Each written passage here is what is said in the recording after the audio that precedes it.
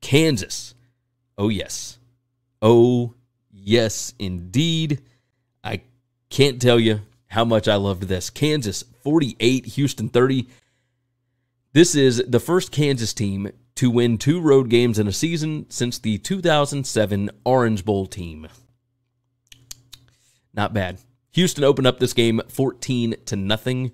Um, of course, Kansas came down and scored, and then Houston threw a pick, and that was all she wrote because Kansas immediately tied the game and they dominated from there. Uh, if you look at what actually went on here, um, I skipped ahead a little bit, didn't I? Uh, if you look at what happened, uh, Kansas scored six straight touchdowns other than the drive that ended the half. Six straight touchdown drives for them. And then, of course, they closed it out with two field goal drives at the end. Um, I mean, just just awesome. Jalon Daniels, by the way, absolute stud. Absolute stud. And I know that nobody wants to talk about it, but when a guy is this good at Kansas and he still has a bunch of eligibility left, who's going to try and pay him? Who's going to try and pay him to try and get him to leave? I don't think he'll leave because I think what Leipold is building there is a culture, and he built it quicker than anybody could have imagined because it's not. It, he's been there not even a year and a half at this point. I mean, he has he got there in April of last year. Like it took that amount of time, just a minuscule amount of time for them to be able to build something up here. Uh, Houston, dumb mistakes over and over and over again. Uh, this defense could not stop the run. Uh, uh excuse me, Kansas, not Syracuse. Kansas, 43 runs in the game, averaged five, excuse me, 6.5 yards per run. That will get you beat almost all the time. Uh, Kansas had more yards per play. Now, Houston had more total yards. Houston had two turnovers. Um, third down tries, Kansas was more efficient on third down. Uh, Houston went forward on fourth once, didn't get it. Kansas went forward on fourth once and did get it. It Kansas had more scoring opportunities. That's drives inside the 40 yard line.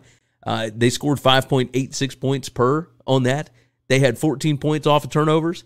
They they had better field position at their own 36 as opposed to uh, Houston's own 27.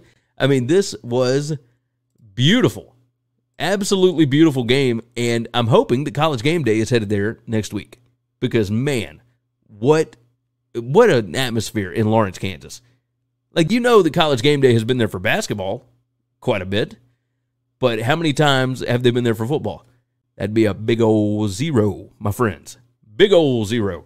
Uh, Cuse jumps in. Cuse is rocking. Yeah, yeah. Cuse got lucky with that win yesterday. But think about this Syracuse is 3 0. Kansas 3 0. Duke is 3 0. Kentucky's 3 0. I mean, what is going on here? Like, what, what kind of what kind of mayhem are we trying to cause?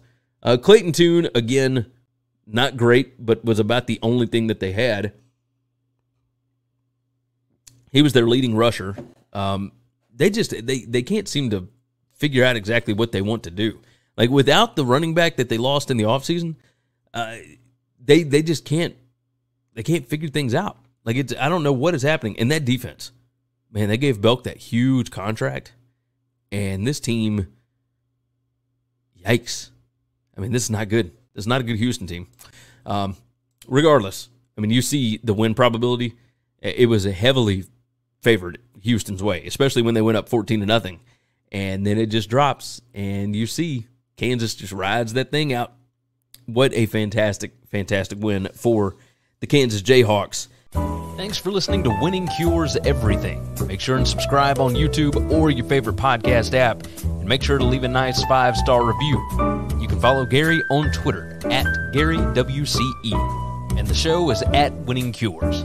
Be sure to check out the merch in our web store and share the show.